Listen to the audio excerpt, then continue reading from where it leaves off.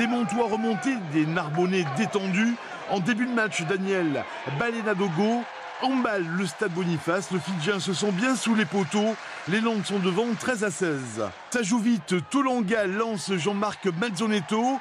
Pas de quartier, il enrhume les eaux doigts pour finir en black boulet retourné. L'essai est accordé à l'arrière landais.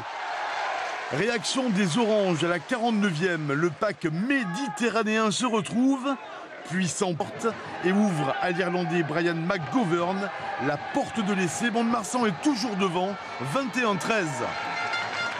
Foot plus volé égal essai. Le casqué Julien Tasté permet Hollandais de Dalmazo d'être en tête, 28 à 13.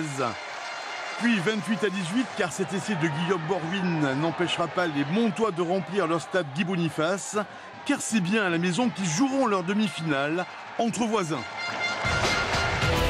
Grenoble champion et promu attend de savoir qui l'accompagnera. Ils sont quatre candidats. Pau termine donc deuxième, Mont-de-Marsan troisième devance Dax au goal La Rochelle, quatrième qualifié et menacé par Carcassonne, a eu chaud.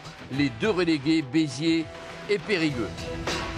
Le tableau des demi-finales d'accession, donc samedi prochain et en direct sur France 3 à 15h. Pau recevra La Rochelle au Stade du Havre. L'autre demi-finale dimanche, 100% landaise, un air de feria, Mont-de-Marsan face à Dax au stade Guy Boniface. Je pense qu'on aura notre public derrière nous. De nombreux supporters de Dax vont venir aussi, donc euh, voilà, ça sera chaud, ça sera tendu.